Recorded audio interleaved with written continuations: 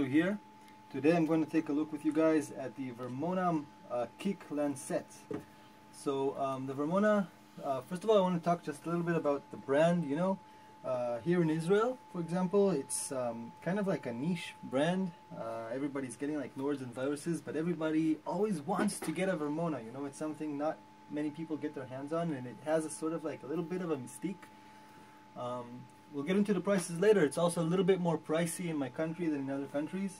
All of their products I'm talking about. So we had a chance to get a Vermona kick lancet used for a very good price uh, here. And you know, I jumped on it and I decided to finally check out um, a Vermona product for myself at my home. So this is uh, uh, a kick machine. Uh, this is all it is all it wants to be um, and what it's made for. It's called the Kick Lancet. What it does is kicks. So you have, um, let's talk about the box itself. It's very sturdy, looks really nice. Uh, I think this is part of what leads to the Vermona Mystiques, you know, the really nice kind of off-white, ivory sort of knobs.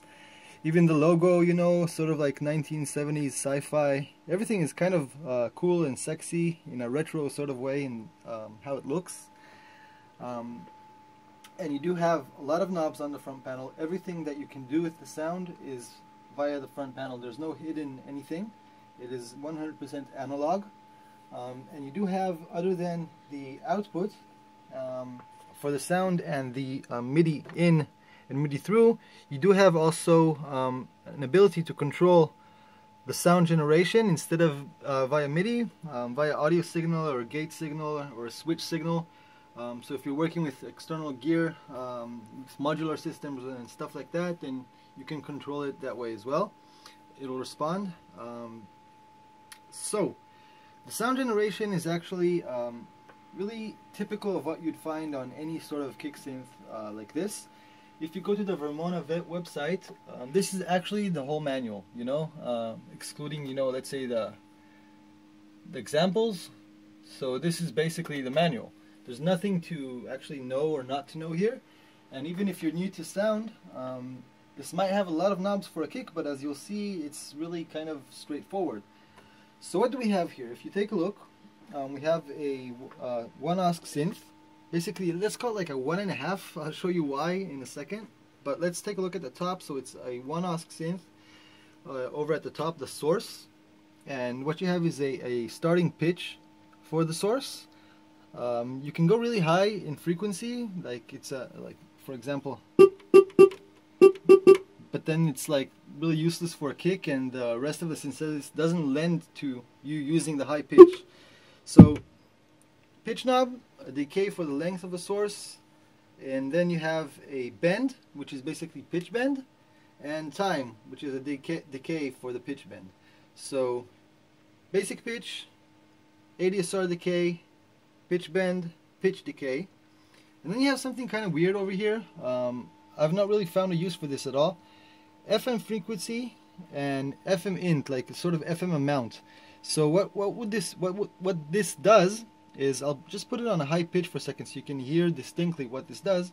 It's just um, like on any other synth, um, an FM source. So it starts as an LFO on low frequency and it gets into the audio range. And it's kind of weird for me. I mean, I'll show you why I think they put it in here, but so it sounds like this. So if I take it up.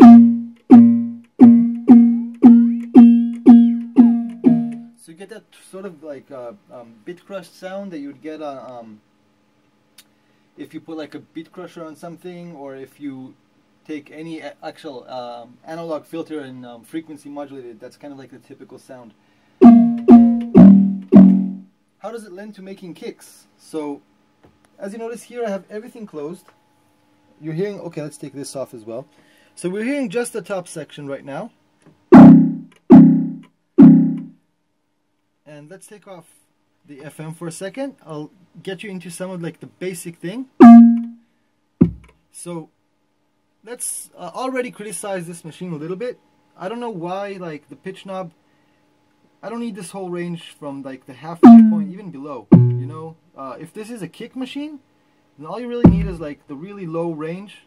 And if this knob was scaled, so the this whole knob would be that little range, then you could find really easier to find these tiny spots because here I'm playing with these tiny spots on a really, you know, I don't have a lot of movement range. So scale this thing across the whole knob and forget about, don't, I don't even need this, I don't need these high frequencies at all to begin with, so. So, you take some sort of low pitch sound, you decide how long you want it, how much of an oomph you want for it. And then, let's say you take the pitch bend off, so you'd have just the the oscillator, which in this case is a sine. You start to bend it, and depending on the length of the bend, you get different sort of effects. Now, as you notice while I'm playing it with it, um, the palette isn't really that big, you know. Uh, it's not like you can make like a ton of different kicks, you know. It's not, uh, unlike a digital device, the, the options are kind of limited, you know. Um, it will produce a kick, but it's I see it like, uh, you know how you have these um, Eurorack modular modules that make like an 808 module or a 909 module, for example, from like Tip Top Audio. Um, so I think that does the job and gets you a wider palette than this thing. But it does have some options that I'll show you. So this this is just like the basic bass sound. But the kick is not complete yet and it does give you a little bit more over here. The attack knob, basically, it, it's, uh, um, I think it is a bit confusing to call it that. What it does is add a little bit of a snap. It's like a square uh, oscillator that is just a really high snap. So as I add it in,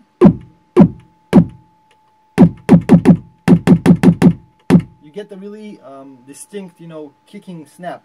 Now the weird thing here is, um, I'm not sure you're going to be able to hear it through this quality of this recording of the video, but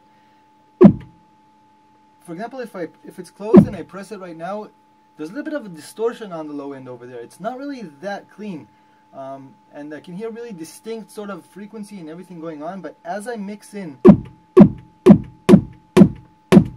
this uh, this extra oscillator, this attack of a, of a square, the sound changes a little, a little bit even on the low end. So it's not like a, you're mixing two different things.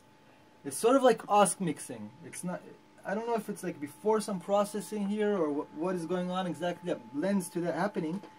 But as you insert that high transient, it also changes a little bit the, the tone and feel of the lower portion of the sound. So take that in mind. Um, another little criticism here I have is that, again, if, if everything is closed, if I'm not using the snap, the kick tends to be really, really, you know, there's no no character to it at all, you know? It's really dry. So you must have this snap here to, to get a little bit of a meat in there. If you don't have it at all, you know, it starts to sound nice once you kind of pass the halfway point um, with this knob.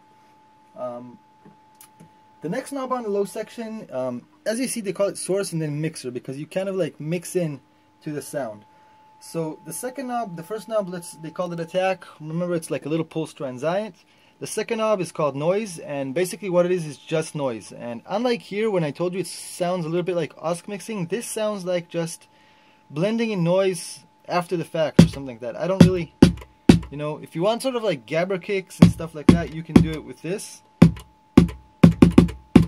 I guess adding the noise component also, um, while also letting you go a little bit higher with the pitch, um, so it, it could also serve you for like snare drums you know? You could make snare drums with this thing not just kicks. Um, but again if we're focusing on the kick creation I don't really for, for my sounds of kicks I don't really see myself using this at all and even again even if one would use it you know if you go all the way it's really harsh you know even if you'd use it you'd probably only use a tiny bit even if you're like making really gabberish distorted stuff um, again, I just think if you want that sound, you know, uh, distortion after this would be a much better solution than just adding fuck ton of white noise on top. I don't know. I don't get it. Okay, anyways, um, the next knob is a... Actually, you know, maybe it should have been here because um, it selects between a sine and a square for the source. So, this would be the square, and this would be the sine. Now, again, we're not talking like in a synth. the the difference is not really that distinct, you know, as far as synthesis. It's more a difference in like a little bit of the tone in the color. And the square is obviously much harsher, at least on these settings, you know. This would be the square. This would be like the sine. Again, um, anything but like uh, being really kind of mellow and sweet with this thing kind of gets really distorted and really uh, really quickly gets into the gabber and like for me useless kind of sort of territory you know? So a little bit iffy. Um, the fourth knob is the balls knob. This is actually kind of cute. The kick without it would sound like this and it gets I think it's like some sort of compression uh, maybe it's like a compressor and an expander or something um, something of the sort.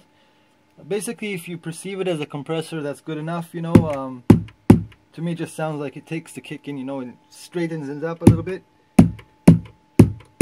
And it does give some punch to the sound especially if you sort of hit some sweet spots. Now again this being analog it's a very very very sweet spot sort of thing you know um, like something like this could really sound totally different than something like this you know?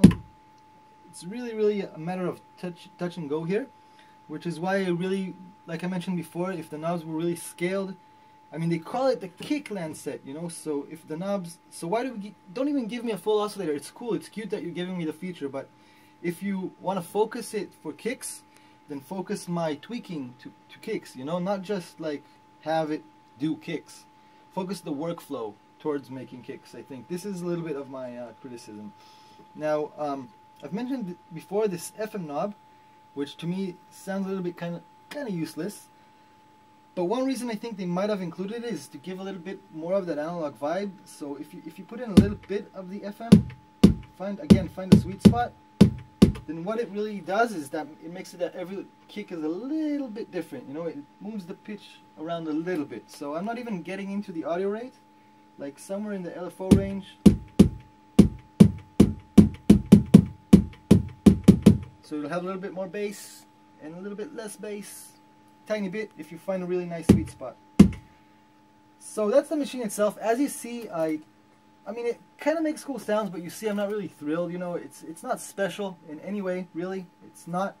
Um, if you're going to play live with this thing, you know, if you're saying, okay, cool, you know, I know I can do it with a plugin, but this is for live, but it's kind of really, it's hard. It's hard to tweak this thing live because it's really, really fiddly. You know, it's not like you have positions, you know. It's not like you're playing a synth and you're flying around with the cutoff. You can't really do that here. Uh, if you move this pitch knob, just look. The difference is really, now it's a kick. I moved it a little bit and it's no longer a kick drum at all, you know. So you can't really be partying up and just like tweaking this thing. It's just not what it's made for. Um, if at all, it's made for like really like studio tweaks and finding like a nice sweet spot and hitting it. Again, if you're making um, crazy stuff and you don't mind that, yeah, fine, it's a kick now, it can be a snare now, you know. If you're doing all that and maybe with some modular stuff going in and switching it around, that could be cool.